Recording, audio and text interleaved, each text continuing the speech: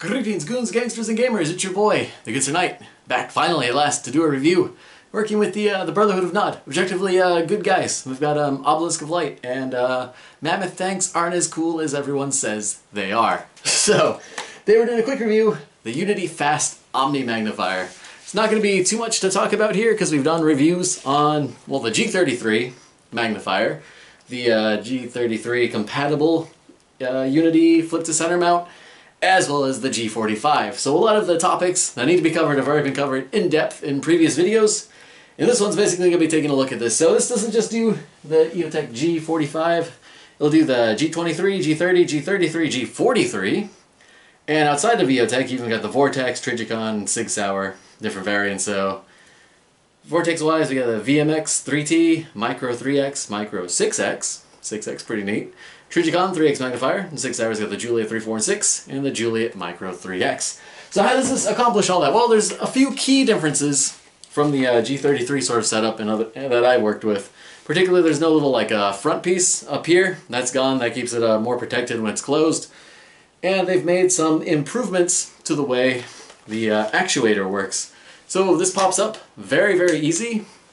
Stays up pretty solid. But with that little twist and push motion, it moves very, very quickly. So as long as you're giving it a twist and a pull, you're going to be alright. But if you're just giving it like forceful motion and everything, it's not going to move. So if it's getting like bumped or banged, it's not really going to go anywhere. It's going to stay where you need it. And then when you need to go back down, very easy swish and flick maneuver there. So I got my thumb stuck. I am a genius. so that's pretty much all there is to that. Uh, as far as the top portion there, you can see there's some uh, four extra little screw holes, and that's for attach attaching different magnifiers. It does come with all the different screws you could possibly need, and it still has the very, very low profile, so it fits almost exactly like the G33. But now we get 3x magnification at the cost of a more strict um, eye alignment to the optic itself. It's not as, it's not as, uh, not as forgiving, and I actually might need to use my stock just a wee bit to get that right adjustment. It's about right there. Yeah. There's a hair on my lens and it's bothering me. Uh, we'll take care of that later. But yeah, so that's really all you gotta worry about the uh, other end of everything. It's still set up roughly the same, same forward facing, quick release lever and everything. And everything else is more or less the same.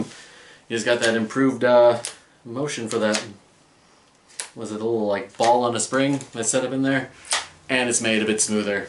And again, twist and pull, twist and push. As long as there's the twist, it'll all be okay. So, that's pretty much the entire review. That's all I really wanted to cover you guys, so I can finally run my G45 at long last for um, all manner of things. It's easier than carrying binoculars, that's for sure. And yeah, so it's neat. Um, at some point, we will get back to where we can shoot uh, real pew pew, and we will uh, get plenty of use out of it there. So, until then, we've got a very neato setup going on. So, if you have any questions about it, feel free to ask. I'll answer them to the best of my ability. They did make quite a few little changes to it. Yeah, so that's all really, really cool stuff. So yeah, cheers, stay chivalrous, hang loose, I'll catch you all later. See you guys.